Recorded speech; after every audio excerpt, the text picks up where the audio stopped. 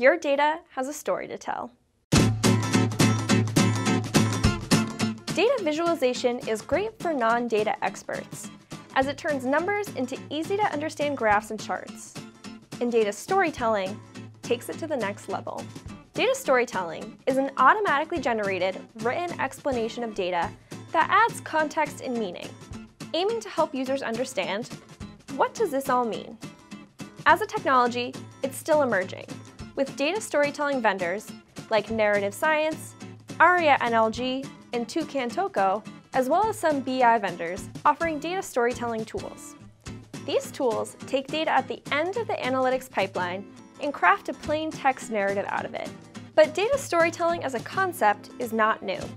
For instance, if you walked into a room with a spilled glass of milk and a cat licking its paws, you could use these pieces of data to tell the story of what happened. The cat knocked over the milk. It's the same for a CEO explaining company earnings.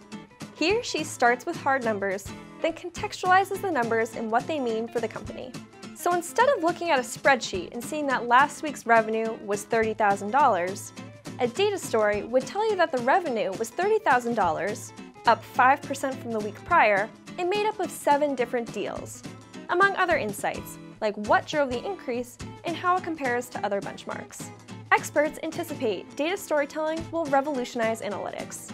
Data-driven storytelling can expand the reach of analytics, according to Dave Menninger, Research Director at Ventana Research. Menninger says only between 20 and 40% of employees use analytics in their jobs. But with data storytelling, we have the opportunity to achieve close to 100%. To see an example of data storytelling in action, click the link above or in the description below. How do you think data storytelling technology will impact business intelligence accessibility? Share your thoughts in the comments and hit that like button too.